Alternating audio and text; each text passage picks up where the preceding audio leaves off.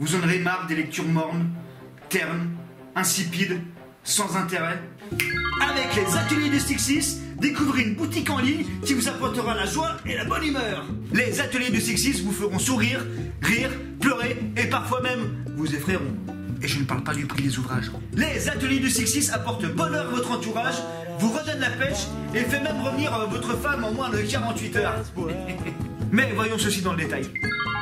De runes et d'épée, une saga d'heroic fantasy avec un humour à faire avorter une troll femelle enceinte. Découvrez les aventures d'un geek projeté dans le monde de Sixis où combat et boissons alcoolisées se mêlent dans un tourbillon de gags et de pouvoirs magiques.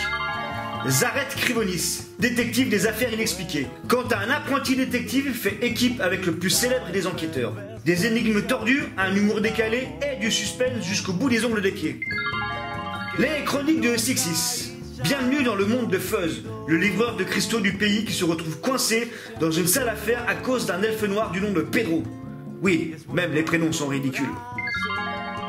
Morbide, un recueil d'illustrations où chaque gag est millimétré au poil de fion. Si tu ne ris pas, c'est que tu es déjà décédé.